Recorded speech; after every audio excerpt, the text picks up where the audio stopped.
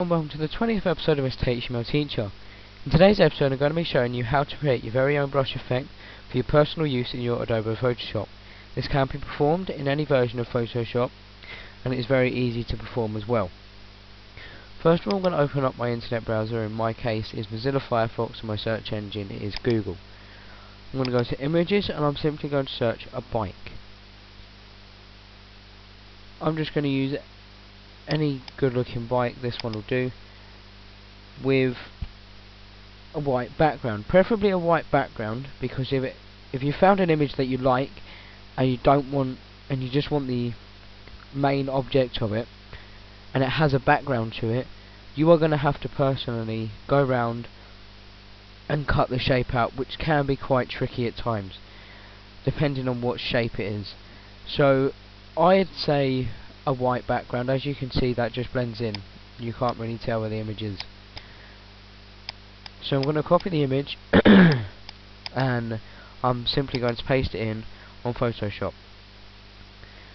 And there you have it. There's my image pasted in. As you can see, it's selected on layer 1. I'm simply going to go to Edit, and then Define Brush. Then it's going to show me my image, and then what the size is, and then what I want the name to be called. I'm just going to leave it as it's set default and click OK. I'm then going to remove the image that I originally started with and simply paste in the one that originally happened.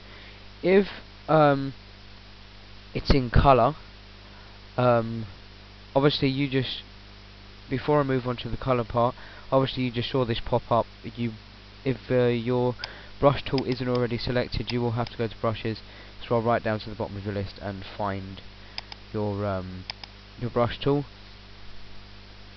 um, that you just created. And obviously, as you can see, this has come up completely irrelevant to the colour that it is there. That is because we've selected it here. If I select red, it's going to come up as red. That can't be changed. That's just the way the brush effect works.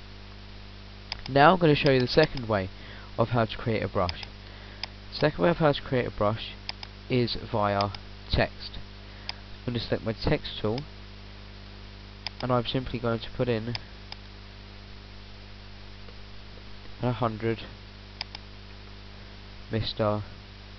HTML teacher.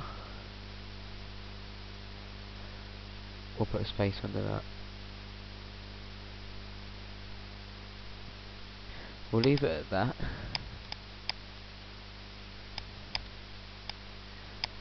And then